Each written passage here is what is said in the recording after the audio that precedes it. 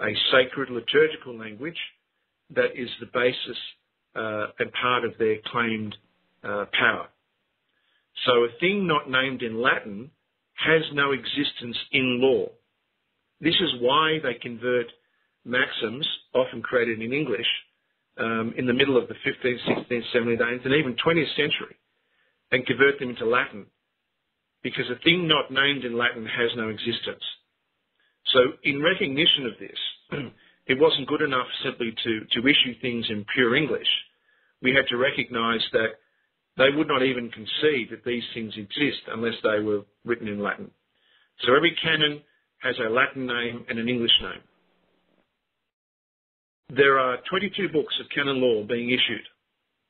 Uh, I'm completing the fourth book at the moment, the book of ecclesiastical law, but the first three books have already, already been issued and can be viewed on the site oneheaven.org. The first being the uh, Book of Divine Law, uh, the second being uh, the canons of uh, natural law, and the third being the canons of positive law. Now, what is probably most relevant for, for most on the call is going to be in this uh, immediate term, positive law. Uh, because when we talk about positive law, and this is uh, a definition of what is positive law, Canon 667 of positive law. Positive law is the laws that are enacted by men and women through proper authority in accordance with these canons for the government of a society. As positive law ultimately refers to physical objects and living beings, all valid positive law may be said to be derived from natural law. In other words, positive law are the laws made by men. That's merely what we mean by positive law. It's the laws made by men.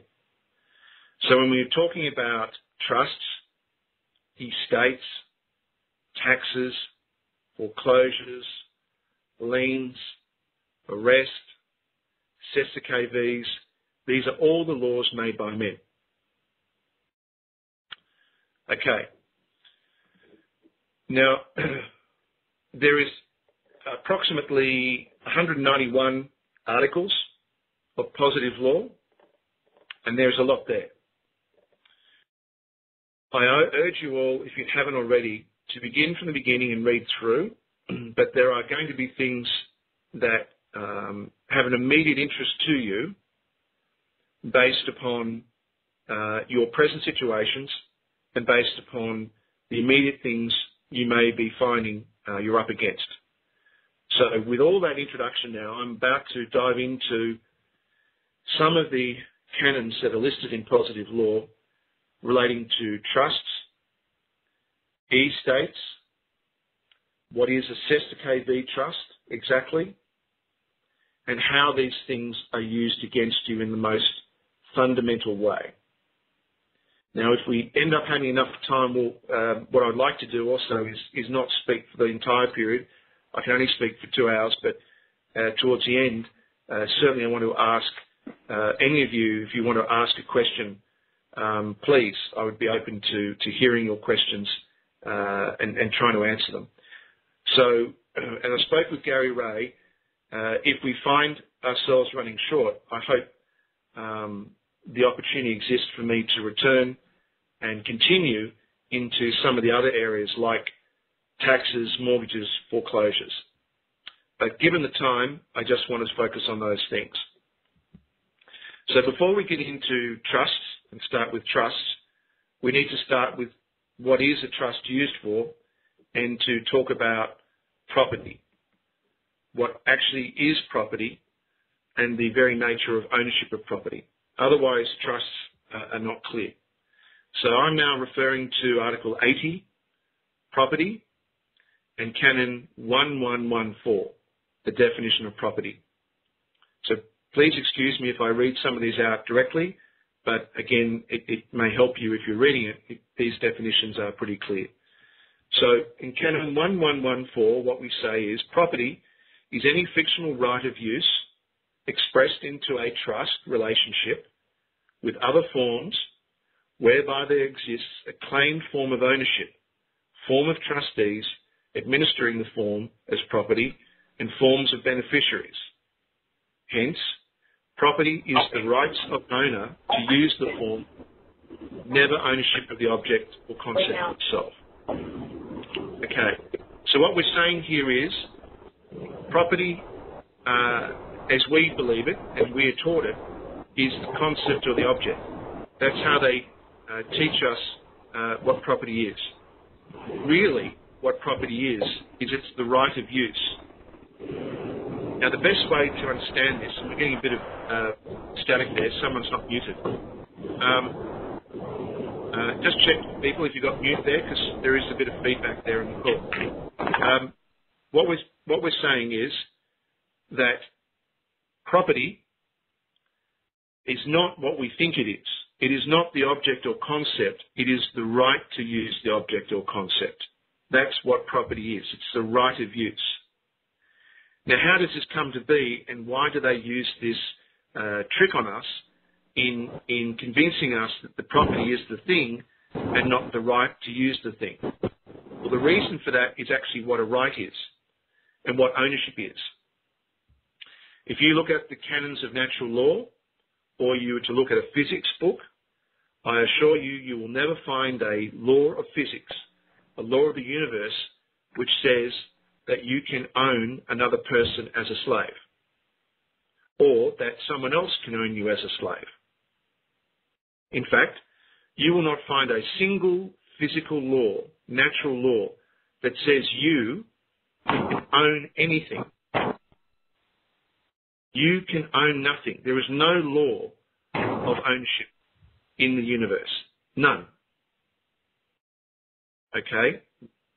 So, in the uh, 14th century, when the Roman cult, or 13, end of the 13th century, when the Roman cult really started to think about how do we end up controlling the world, they struck upon this realization that yes, um, people had been enslaved for thousands and sometimes hundreds of years, and yes, kings have controlled great empires and risen and fallen. In all cases, it was through the use of absolute force and fear and might that those civilizations functioned. There was no underlying principle of law as we would view it in terms of property. It was merely might is right, an eye for an eye. So when they realized this concept, they realize something that we, we too need to understand.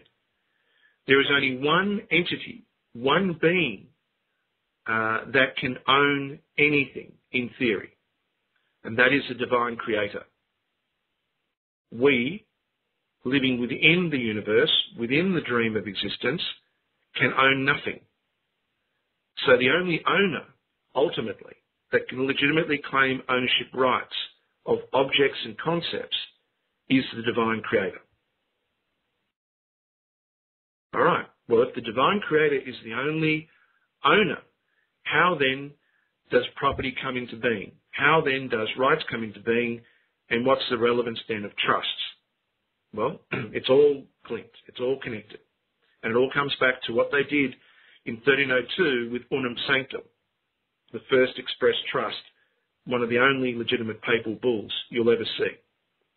Well, if the divine creator is the only owner, then if you can claim to be the only spokesperson for the divine creator, then you ultimately can say that the rights of the divine are conveyed to you and then you control where those rights are conveyed. That is the nature of rights. Rights being top down. Property rights being top down. It begins with the divine. Then next down is the highest authority of the divine on the earth. And then the next down from that are those that that divine authority um, convey certain rights to. And so it trickles down. Eventually to the slaves tilling the field or the man and the woman uh, that wishes to have their own home and that is the modern system of property rights created in 1302 and subsequently refined unto the present day. That is exactly the system we live under. Everything in the world is controlled by property. Everything in the world is controlled by rights, and everything in the world comes back to this basic system. Everything. Whether they're Chinese, Russian, Burmese, American, Australian, Canadian, it's the same system across the planet. That is the essence of property. All right. With that in mind, uh, let's now have a look at uh, trusts. So I hope that was uh, clear, and I'm, I'm, mindful I'm covering things very quickly, uh, but I, I, I hope that's clear. So we have a right, a right of use, but it wasn't good enough for the Roman cult to simply come up with uh, a right. It needed some legal form that turned that into something real because we're talking about a fiction, a right of use. They needed to give it a, le- a level of reality to such the point that it had value, it had consistency, um, it could be protected and couldn't be corrupted. So for that, they created the concept of the trust. The trust is the container in which property is conveyed. So property as you saw in the definition of property, never travels anywhere without a trust. And I might just go back to property for a second and just quickly cover some of those uh, definitions. Um, so, Canon 1117, property cannot exist in reality without an owner, at least one trustee, at least one beneficiary. So, property can't exist without a trust form not expressed into trust by some lawful conveyance does not exist in reality as property. So, here, by understanding property as a right from the top down, we see that trusts and property are intimately involved. Property is the thing placed in a trust. A trust cannot exist without property. With this in mind, I go back to, to trust being Article 84 of Trust. Again, apologise for reading, but uh, these are canons that you will see, I'm sure, when you go. So canon 1147, trust. A trust is a fictional form of relationship and agreement whereby certain form, rights, rights being property, and obligations are lawfully conveyed to the control of one or more persons as administrators for the benefit of one or, or more other persons. And then we go into what a trust needs to have in order to uh, be a valid trust. And I will go through these because these are the essential elements of what makes a trust a trust. So Canon 1148. All valid trusts possess the following characteristics known as the standard characteristics of trust. By the way, these are the same characteristics uh, of the uh, conventions um, of The Hague and are universally recognised by the Roman system as being the essential elements of a trust. One, a trust instrument, also known as a trust deed, identifying the essential form of the trust, the property be, to be conveyed to create the trust, and how the trust shall be administered. And two, an owner of the property or authorised person having the permission to create the trust instrument and convey the form of property in the trust in the first place. Three, a collection of property within the trust defined as the trust corpus, also as the trust body, or the body corporate. Now, when we speak about e-states uh, in a moment, an e-state, in fact, is the body corporate of a testamentary trust. So that's where the word estate comes in. An estate is nothing more than a dead body corporate, given that a testamentary trust is created for a deceased uh, grantor. Someone dies, a testamentary trust then is given life. Four, at least one administrator of the trust, also known as the trustee, who is neither the owner nor authorised person who conveyed the property into the trust, appointed in accordance with the trust instrument, who is then responsible for the administration of the assets of the trust, being the corpus, also being the collection of property. Now, I know that there has been an enormous amount of disinformation uh, that has come out